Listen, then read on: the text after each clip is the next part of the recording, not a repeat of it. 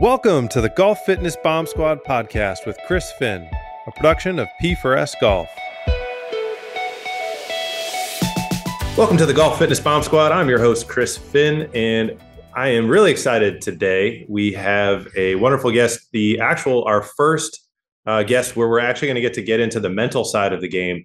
Uh, we're so we're taking a little bit of a break from the physical side, which I'm excited about uh, because to me, this is any anybody who has tried to play competitively, who has even just tried to win money from their friends. There always comes a moment when your brain sucks, and so uh, we have Rick Sessinghaus with us today. Rick, welcome to the podcast. I'm so excited to have you on. How are you doing today? I'm doing great, Chris. Thanks for having me on. Yeah. So so Rick, how do you get into the mental side of golf. Like, yeah, you know, my journey on the physical side was kind of a one of starting from the ground up. Like, you know, I just worked with anyone and anybody who might listen to me, and if they didn't, I just bugged them until they said, oh, "Just all right, I'll do it. Just leave me alone." Uh, right. Like, like how did how did you get to where you're at right now? Because I mean, the the resume is is impressive. Oh well, well, thanks. I think part of it. Um, I don't know about you, but you know, I was I was a golfer starting about the age of 13. Uh, average junior golfer ended up get, uh, getting better and playing golf at Cal State Northridge, Division One school here in uh, the Los Angeles area. So I got I got better certainly with the, me- mechanical skills, and you could hit a ball and all those type of things. And and yet so my journey in the mental game was more of my own downfalls of hothead, frustration, throwing clubs, uh, those type of things. Attitude was horrible. And then when I got into coaching, you know, I just thought, well, that was just a me thing. Yeah, you know, that was just me being a hothead. But as I've started working with better and better players, you know, certainly on their golf swing, I'm a, a member of the PGA and I've touched golf swing for 30 years. I started seeing that there was a lot of interference, a lot of stuff getting in the way of them, what I thought was to perform at a higher level. And I'm a coach. I'm supposed to, they're supposed to shoot lower scores and they're not. And yet their swing looks better and on the range it looks pretty and they're hitting the shots they want. And so that's when I think I really started to pivot and learn more about performance from a standpoint of the mental side, emotional side, and we'll talk more about what that is in a moment. But you know, as as I look at it, I think it's a puzzle piece of many puzzle pieces that uh, uh performance is.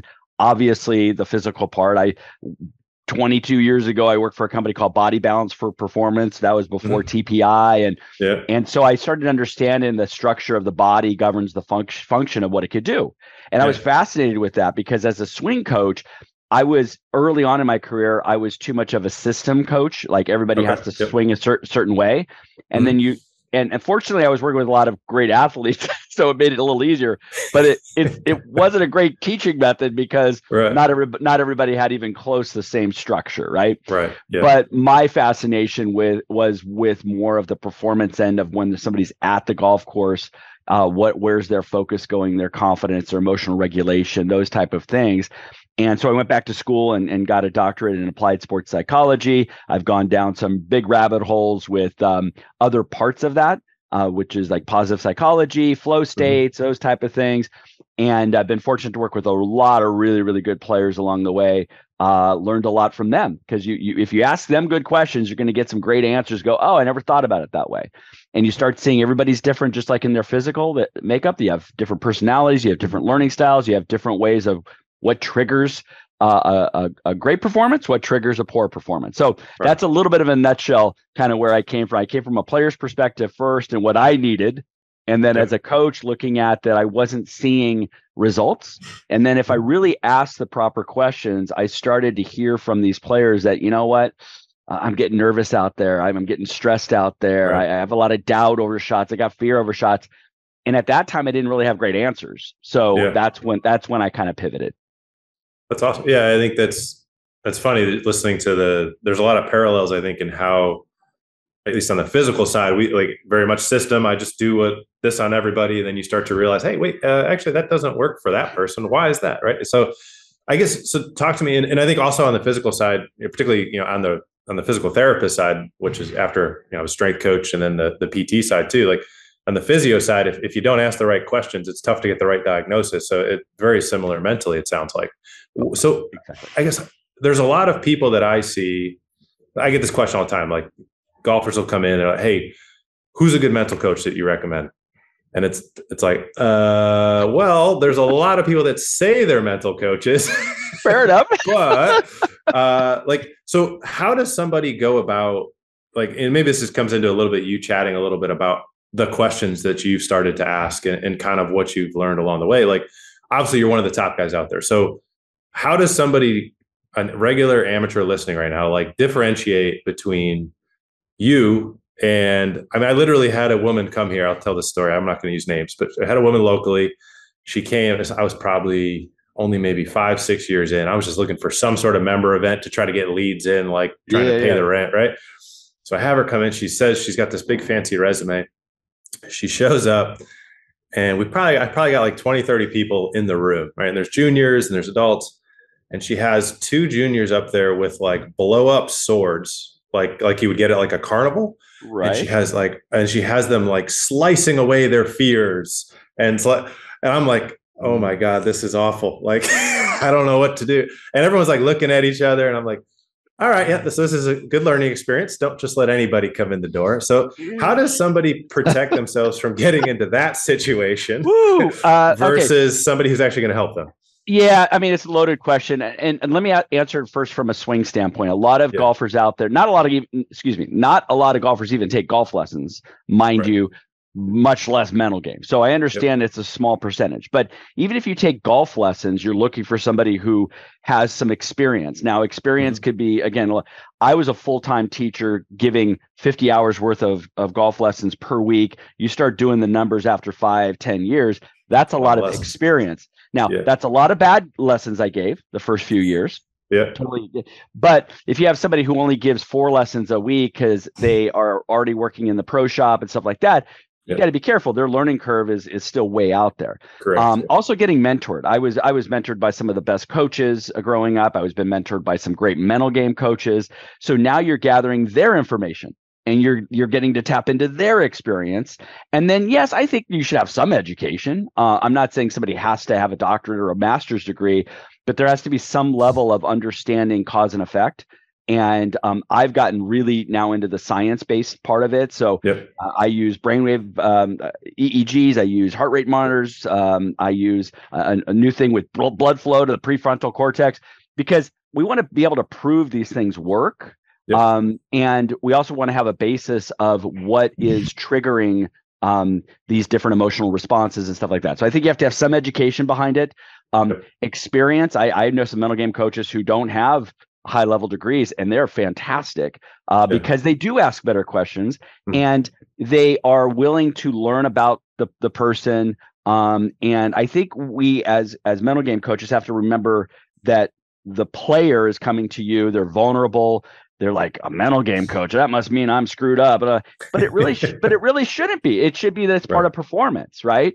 You have people that maybe come in, they're high level athletes that you screen them and you go, well, they check all the boxes on the basic screen, but guess what? They still want to get faster. They still want to be more, have more endurance. So mental game is the same thing. Um, and so I would say with the mental game coaches, I think you got to be careful if they have zero experience in sports you're seeing a lot of clinical psychologists who who look at and go, "Oh, that sports stuff looks pretty cool." And yeah. they don't know the verbiage, they don't know the communication, they don't know what they're going through. So I think yeah. somebody who's coming to it from a standpoint of they've understand sports, it doesn't have to be necessarily golf. That that's very very very helpful.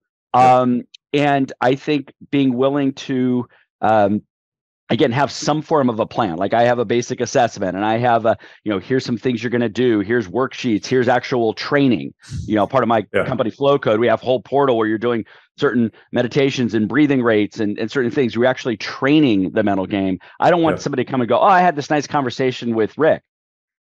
Okay I want somebody to wait, say, "Hey, wait, you mean you actually measure things and then look for improvement? Oh, That's a wild no. concept, right? I know, I know, I know. um, so, so it's one of those things where you know, when I first was a mental game coach 20 years ago, I was still trying to find my feet. Don't get me wrong, but I've learned along the ways of what are we measuring, right? Some of it's subjective in the mental game. Honestly, you're doing journaling, you're doing open-ended questions and stuff. But now technology's catching up um, we have some cool ways to help people um, with feedback, neurofeedback, and all that of like, oh wow, you mean I did that breathing rate? and then I noticed my brainwaves went down. Oh, I have some control over my situation. So right. I, I want to empower the player. I also want to give them different options. So like uh, this would be one like with visualization. Like I used to, everybody has to visualize. And I found out some people are more feel oriented. We call it a deep right. embodiment triggers. More people are going to be the, in their body, body connecting to target. Other people are going to see it. And then if you see it, should we see a shot tracer? Should we? I see a bullseye in the distance. There's a so. I mean, there's all kinds of different right. visualizations too. Right. So we want to we want to open up that there's a lot of different solutions to to somebody's performance. So again, back to the thing, a mental game, they have to have experience. Um, I think communication is important. Um, I feel I, I've seen a lot of coaches that are pretty good in one on one, but then you put them in a group and it's disaster. Um. And so, how do you get your message across in a very um, simple way too? The mental game, you can go down roads and like, you know, I ask everybody, what is the mental game? And I hear everything, right? And that's fine because at least they're trying. Oh, it's positive thinking. It's this. Great that it's all that's true. Yeah. But if I say it's about state management and it's about your your mental, emotional, physical state as you execute a golf shot, they're going, okay, what's state management? I go, well, what are you thinking? What are you yeah. feeling? And then how is that going to respond to your actual physical makeup? A mm-hmm. stress response, grip pressure could increase, my speed yeah. could increase, and then you blame your golf swing or you blame your P you blame your PT. You don't want to be blamed for that. That's a, no. that was a mental error, you know? Yeah, no, yeah, no thanks. and, we, and we get that all the and we'll we'll see that, right? I mean, this is just I mean, it's nothing you don't already know. Like we'll have guys come in and you know we do the test, and this is probably to me for anybody that's like trying to do anything physical.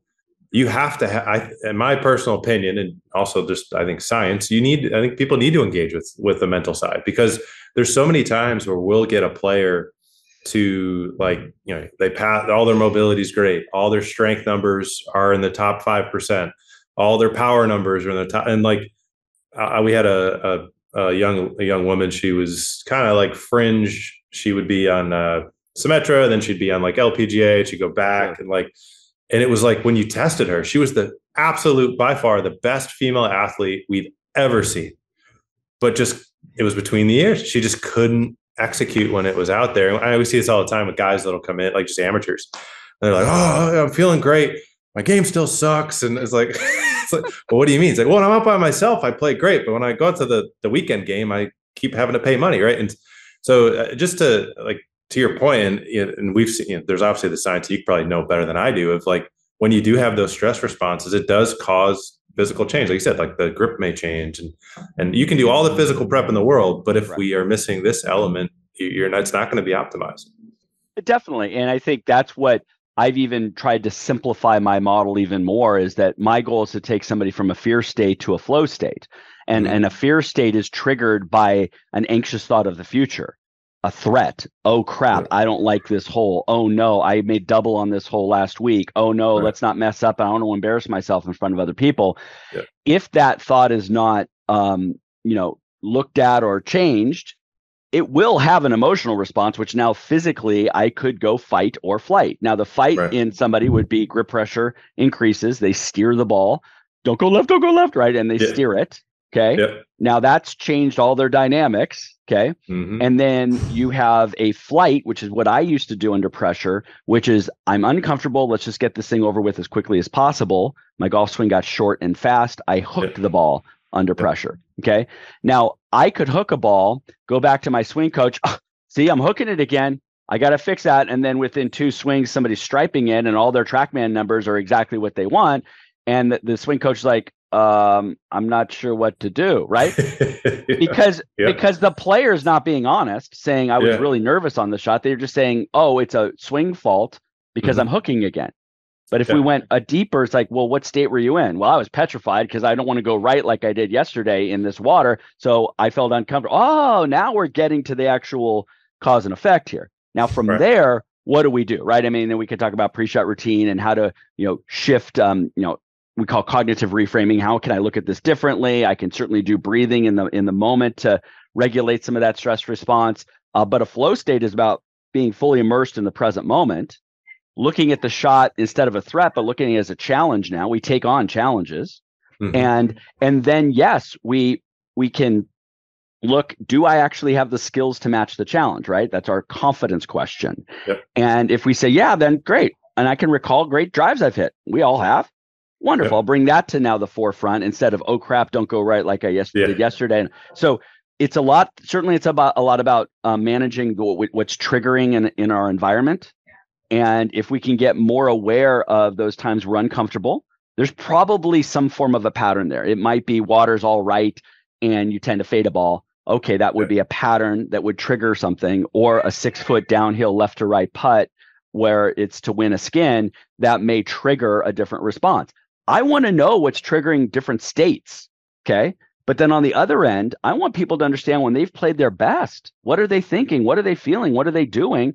There might be some a thread, a recipe there that we could start to um, copy and we can start to repeat. And then people talk about pre-shot routines, all that stuff. Great. But I'm talking about really deep into those pre-shot routines of what was triggering that. So I'm looking at most people let the environment trigger an emotional response.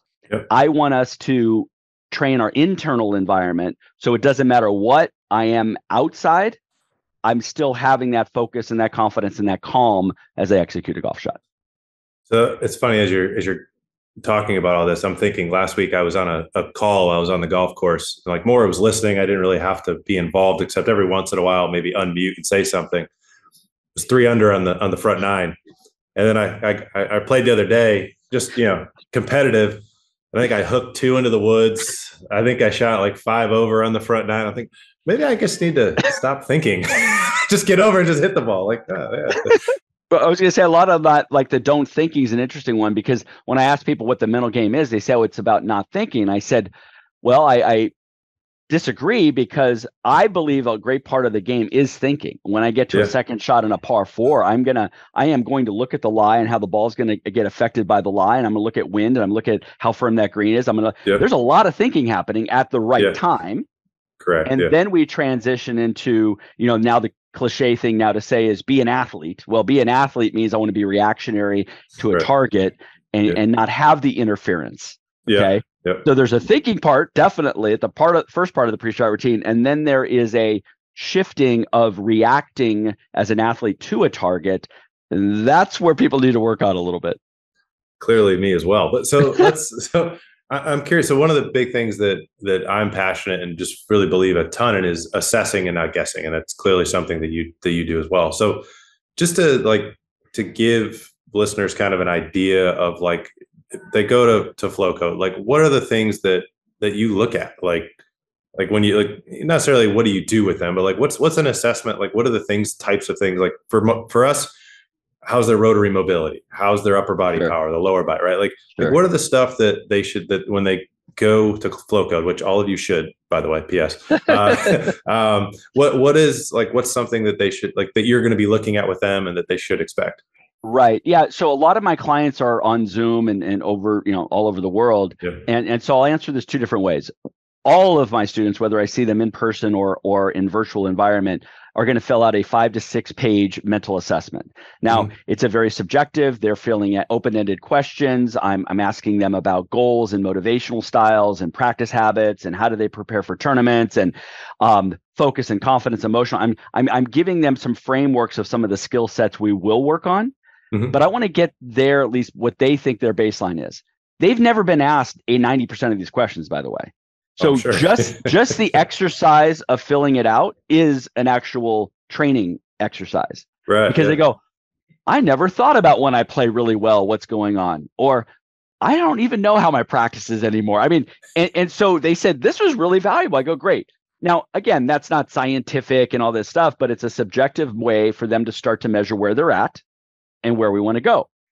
And then if I see somebody in person, we call it a mindset fitting. I use some different technologies to that. that's awesome. It, and, and I don't do it necessarily in the first session, I'll be honest with you, because I think there's so much stuff that needs to be kind of filtered away.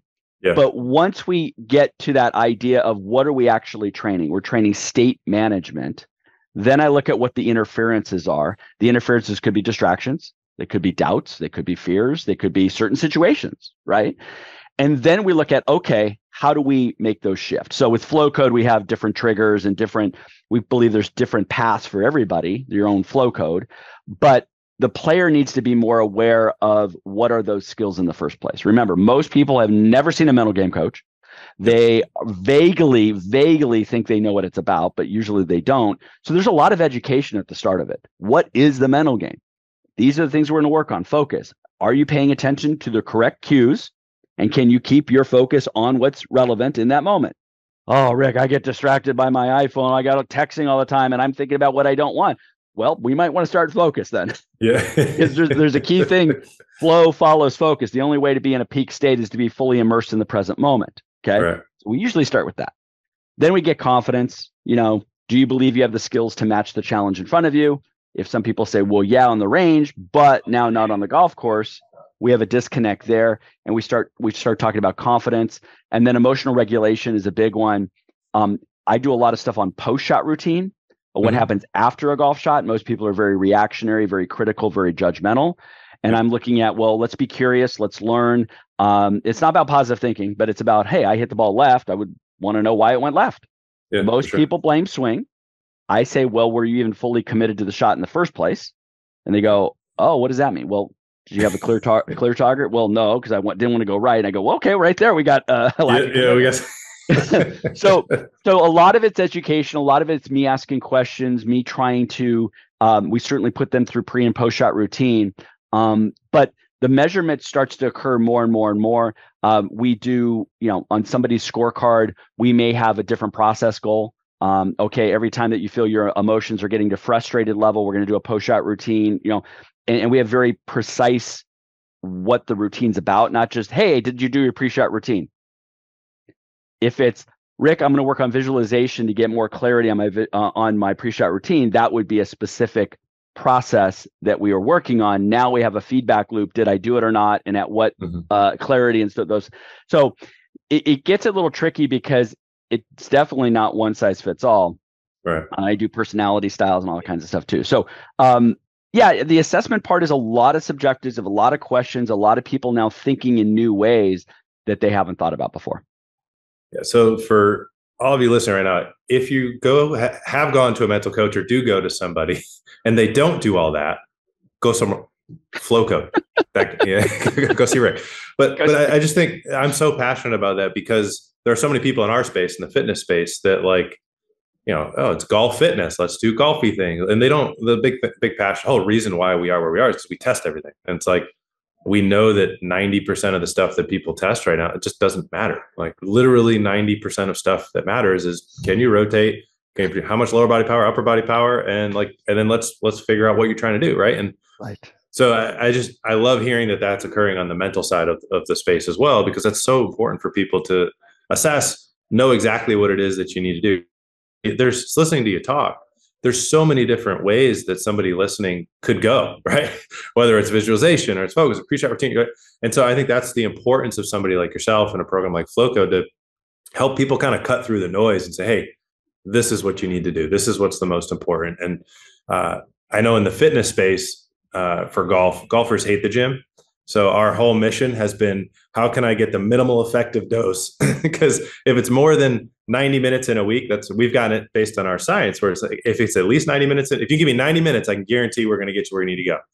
And like 15 minutes a day, you can't tell me you can't do that for five days in a week, right? Like, but so I think that's so important on the mental side too, uh, because I think it's very easy to feel like you're getting hit in the face as an amateur with a water, like a fire hose of information to- totally, and I, and I'm glad you said that is because one, I know when somebody's coming to me for mental game, um, I, I, get one or two type of players. I get the serious player who's competitive, who says, "Rick, I want to try this. I think it's important."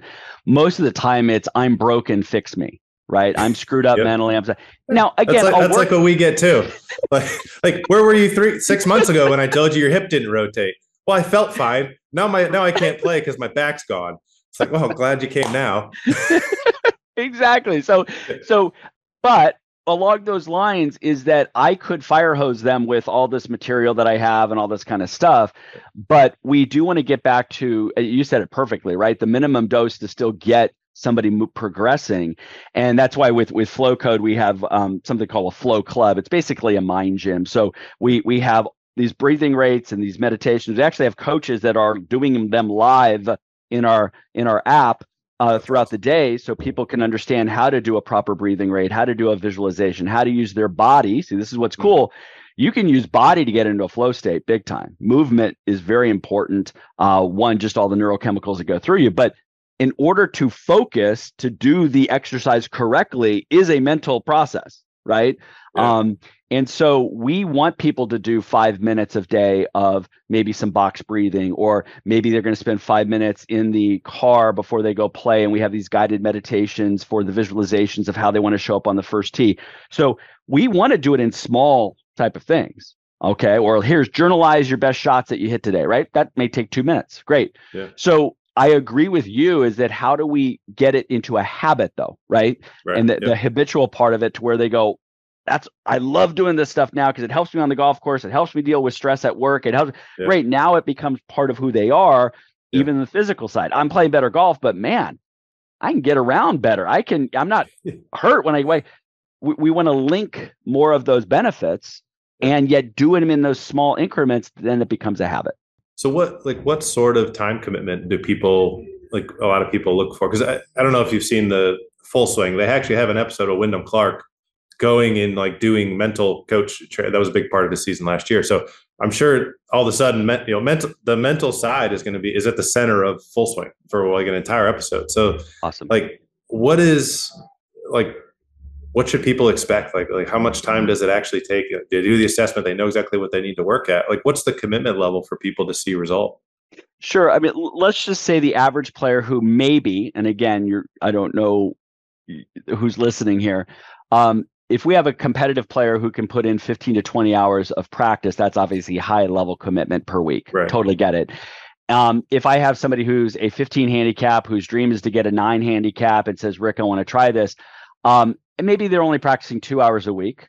I, I'm going to ask them to take a chunk of that, maybe 20 minutes on the range to go yeah. and look at full pre-shot routine and post-shot routine and work on visualization, do some random practice, variability practice, stuff like that pressure practice too is like put them in some stress states yeah. but i would do some stuff off of the golf course first i would have them understand what proper breathing does for them physiologically but also from a focus standpoint so they have the skill already so then when they take it to the range then they take it to the course then they take it in a tournament it's already something that's been practiced yeah. um, journaling and and stuff like that's important too not only to kind of process what's going on but also to reinforce what's working we yeah. can start seeing like, wow, wow, I was more calm there. I was, and so I don't think it's as big as what people think, but I think just the awareness of, oh, there I go again. My thought went to this, and I'm, oh, Coach Rick talked about what's the last time I hit the shot well? Oh yeah, yeah, I hit it last week here. Okay, cool. What? And now I can yeah. shift. That takes practice.